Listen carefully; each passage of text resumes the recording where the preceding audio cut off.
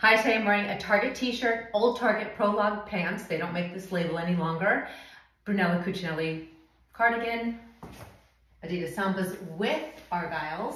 Here's the back. Have a great day.